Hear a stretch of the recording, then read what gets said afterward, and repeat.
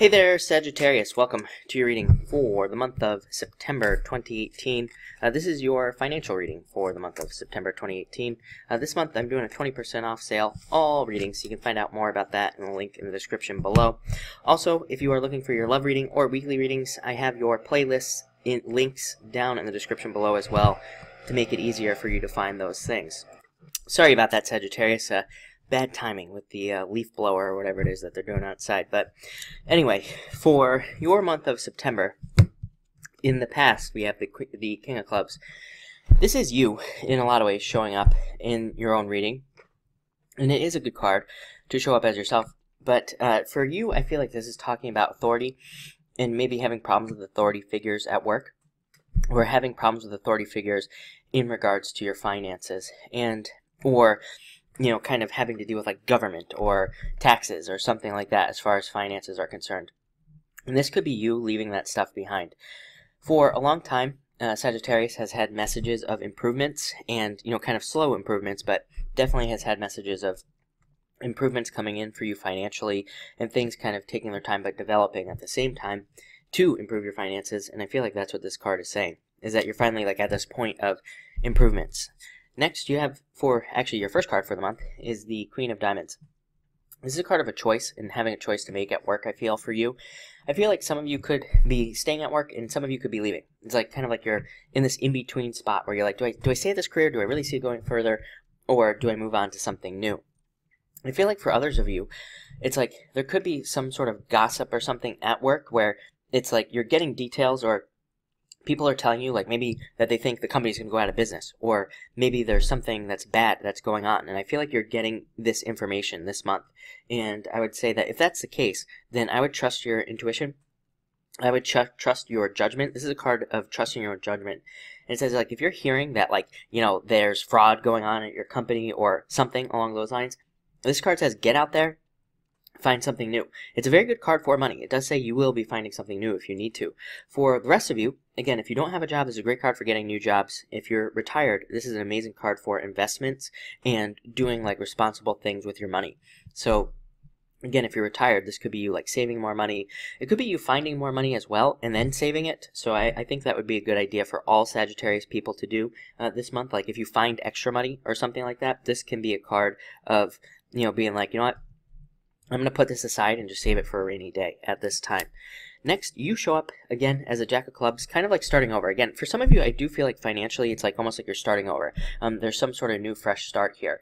Um, so that could be the case for a lot of you. Uh, for others, I feel like this is a friend that could be helping you, and I also feel like this is a card of, you know, to me, ultimately, this is a card of trust and trusting a situation, and I feel like you are kind of deciding to trust yourself becoming more independent financially and deciding that you are going to do what you want to do with your money. And you know that's probably going to be the best thing for you at this time. This is uh, a great card for the future as well. It's a great card for thinking about the future and having better financial plans for the future. So I do feel like a lot of you could be planning your financial future.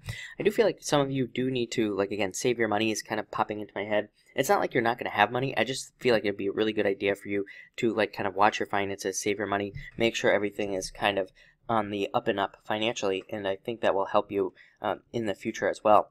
I also feel like some of you might have like an opportunity to get ahead on some bills or something or maybe you can pay something off and i feel like some of you are like questioning whether or not you're like should i pay this off or should i take the money and you know go buy something nice? I do feel like it would be a good time for you to decide like maybe if you have extra money to pay off a card or something i do again feel like it would be a really good time for you to do that and i feel like there would be like even more future benefits to doing that at this time. This is you know these two cards together queen of diamonds this card they're kind of like cards of financial responsibility. They say that if you are financially responsible, you will be rewarded uh, in the near future. So that's what I would do there. Next, you have the Eight of Spades, just work. Um, you know, again, this could be you just putting in a lot of work this month and having to work quite a bit. And so, again, a lot of you could just be working. Some of you might want to work. Um, this is a card that comes up sometimes where maybe you decide, you know what, I'm really not that tired. I have a lot of energy. I'm going to get a second job. And maybe you're just doing it to be more financially responsible, to pay off a card or a credit card or something like that. Um, again, this is a great card for doing that. Like if you're thinking about doing those things, this is a great card for doing it. Um, this can also be a card of a vacation. So maybe some of you are spending money on a vacation and taking time to relax. This is like the card of relaxation. And it does say it would be a good time for you to take some time to relax and take some time for yourself. Three of spades at the end here. We're going to clarify this card in just a minute. Um, again, this can be, usually be a card that says be careful of getting sick and injured. Uh, don't do any of those things at work. Don't try not to get sick. Try not to get injured. Um, you know, again, another card of relaxing and making sure you take time for yourself. Um, again, this can be a card of working too much and then getting sick and then you can't work. And then it's like this downward spiral. This card says avoid those types of things. But I do want to clarify that three of spades for you, and uh, you have the jack of spades, which again, uh, same thing, would be a card of needing to watch that. Uh, I even just took the next card, five of spades, another card of watching your health. It definitely would be a good month for you to, to watch your health.